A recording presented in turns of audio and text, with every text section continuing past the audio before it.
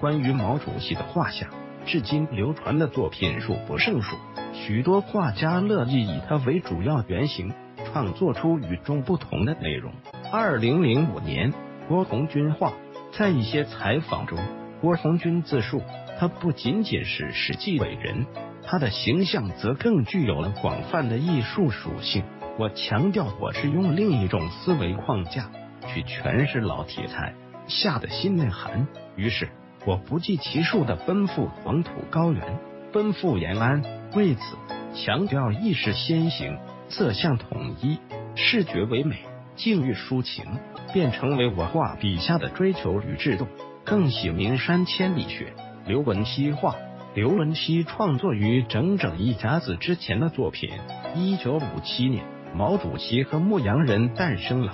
二十四岁的刘文熙从此一鸣惊人。画面中，文从沈梦感觉到老农的喜悦和激动溢于言表，在主席面前无拘无束，侃侃而谈。